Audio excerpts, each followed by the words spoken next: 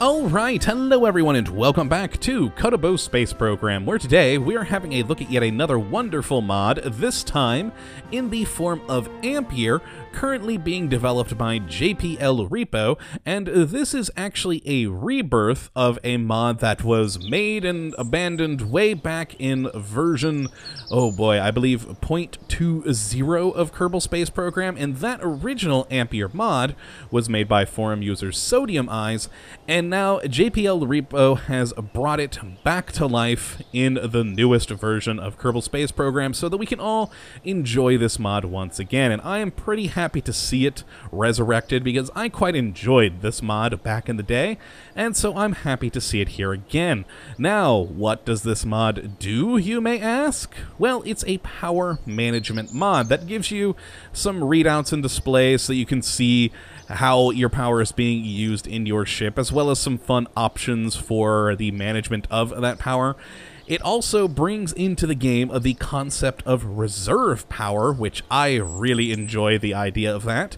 And on top of that, it also brings in new ion and plasma RCS thrusters, which are pretty cool, which of course use electricity to, you know, generate RCS thrust, as well as another fuel. We'll talk more about those parts in a moment once we jump into the VAB.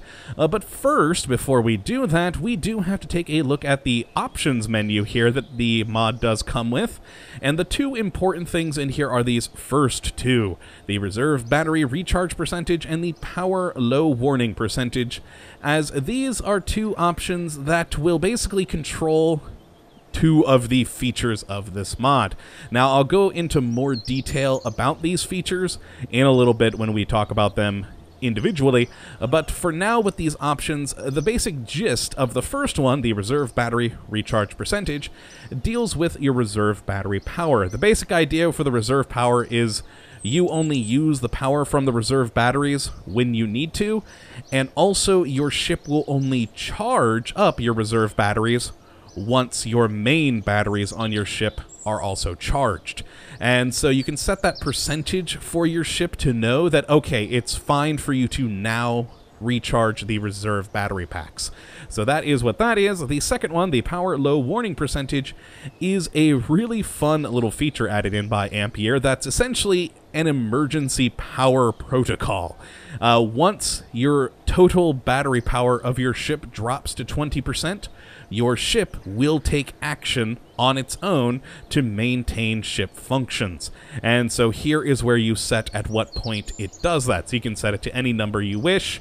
Uh, the other options, meh, I've never really touched, so we're going to close that now and head into the VAB to take a look at the fun new parts. Now, the first bits that we're going to look at, well, first let's grab a Mark 1 command pod here, zoom in a bit, and head down to command and control to take a look at the fun new RCS ports that we have here. Now, as I said, we have two new types of RCS ports added in. We have the Ion RCS ports and also the, uh, oh god, what is the full name? It's abbreviated PPT, but uh, the proper name is Pulsed Plasma Thrusters.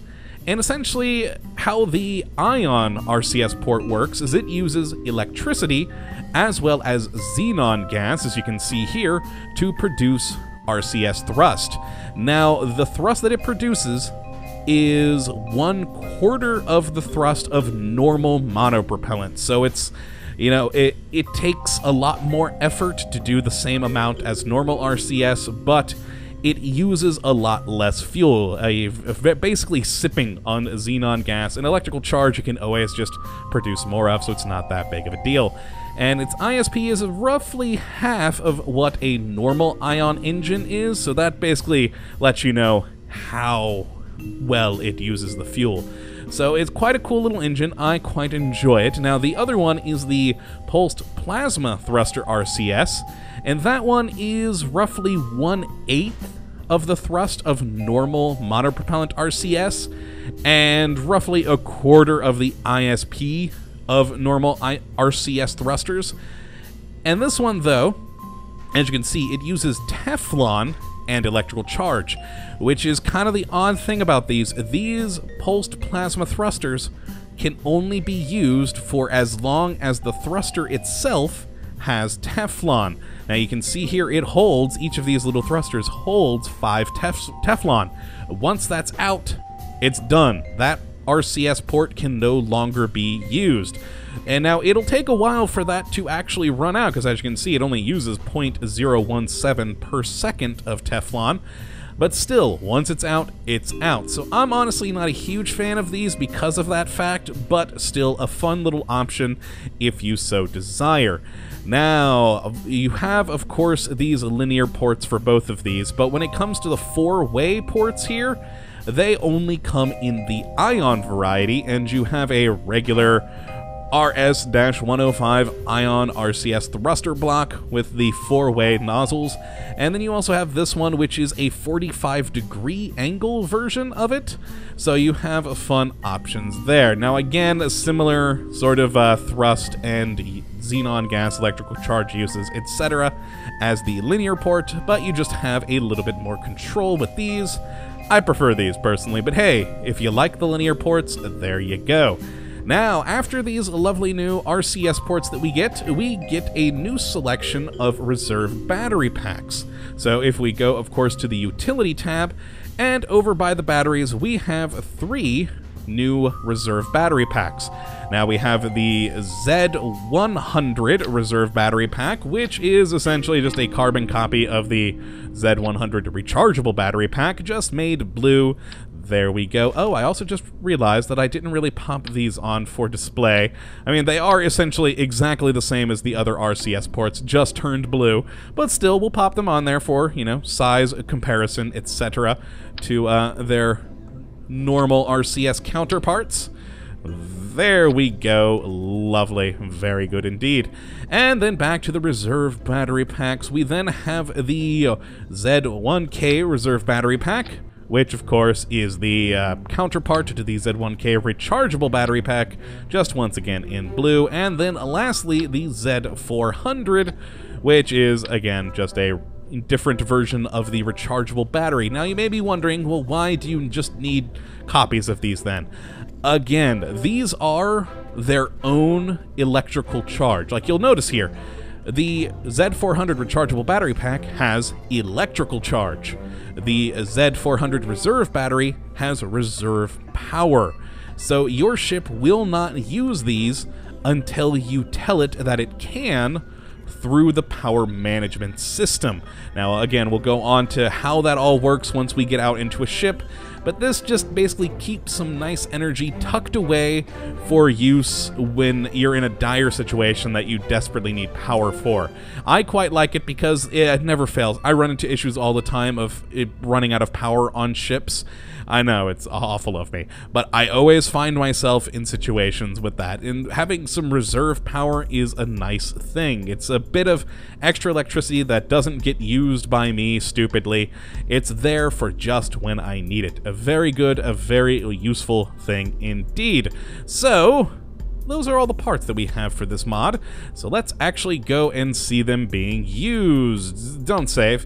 Now, what I have done is put a ship into orbit with some reserve power, as well as the new fun little electrical RCS, and of course the whole power management system here in this lovely test craft. So let us go and fly that and talk about how all of this stuff works together. Now, for your actual power management, you have a similar button to that settings one that we had on the uh, Kerbal Space Center screen earlier, but this one will now open up the AmpYear Power Manager. Now, normally when you launch a ship, it's going to look like this. When you start up a ship, it will be defaulted to just basically systems all shut down. And what you have to do is turn on your manager, which starts to use electrical charge because that's essentially the electrical charge being used by your command pod. And then, as you can see here, it shows our percentage of power that we have, the power drain, and also the power production. Very useful tools here. A little bit nicer and more easily read than this resource tab here, so I quite like it. Then when you get into more details, you can open up the subsystems, and it breaks down all of the different systems on your ship that use power, such as the SAS, RCS. You also have fun options like show your crew members, the emergency protocol that I mentioned earlier, and you can even open up a full list of parts. Quite nice indeed. I, I do like that, and of course it shows electrical charge with those things. Very cool. Now we also have a fun little feature here, which we'll talk about in a moment. Now beyond the subsystems, we also have the access to our reserve power system. And this is how you tell your ship that it can use your reserve power. Essentially, you transfer that reserve power via these buttons. So if we need to pump some reserve power into our main system, we use these top three buttons. If we want to recharge our power from the mains into reserves, we use these buttons. Very useful indeed, a very fun little system. I do enjoy it. And yeah, that is the essentials of the Power Manager. Not exactly the most complicated thing ever, but it allows you to turn on and off different things. So for instance, if we do want the RCS off or the SAS on and off, we can also turn them on and off from here, and it will show you how much electrical charge it's going to use. Uh, but uh, when you have these off, they won't work, of course, with their power because, well, it's it's off. Now, another fun thing is with if you have the Power Manager button here on, you can use all of your systems. I should have mentioned this when we jumped up here earlier. But when you start off your ship with this turned off, and if you disable the manager in flight, I cannot actually turn on RCS or SAS. You see it flashing down there because I'm trying to turn it on, but it can't because it cannot actually power it because our manager is shut down. So that is an interesting little side note to remember. Uh, your ship basically requires the manager to be active to actually distribute the power to those different subsystems. It's a cool little feature. I, I like that as a feature. It may seem odd to others, but for me, it adds a little bit of interesting realism to it because you know you got to activate your systems to make sure that things are good to go Excellent, and now we can turn the SAS on and RCS, all of that, and they are using power, and we can see as that power fluctuates as it gets used. For instance, the RCS. Now, this little option here is the turn booster. Now, you can possibly see on the YouTube recording that if we turn it on, it's going to use 1.95 power per second, and it uses all that power to help with your SAS system. This turn booster essentially pumps in more electricity into your reaction wheel and SAS to boost the effectiveness of it by 25%. So if we turn that on, we're going to be using a crapload more power, but of course we can easily keep up with our solar panels, and our ship will be able to turn via just the reaction wheel 25% quicker than it could normally, which doesn't seem like much, especially on a ship that's this small that's just really easy to control in the first place. But if you have a really, really large ship, you probably have felt the pain of how slow rotating with just the SAS is with a huge ship. So turning this on to give you that 25% extra power to the reaction wheel, uh, that can be a lifesaver and just make life so much easier. So it's a cool little feature, and of course you probably want it to stay off while you're not using it because that does use quite a large amount of power. Now, as for the power, we're going to demonstrate the reserve system here. So what I'm going to do is first off, bring in my solar panels, which of course, you can see now our power production is down to zero, but power drain is going. But let's speed up the power drain a bit using good old HyperEdit here. Go to the miscellaneous tools and I can lower down our electrical charge to about, let's say about halfway-ish. There we go, and well, say if you are on a mission, you've for some reason your solar panels were damaged or something along those lines and you need to land but you don't have quite enough power, but you have reserve energy.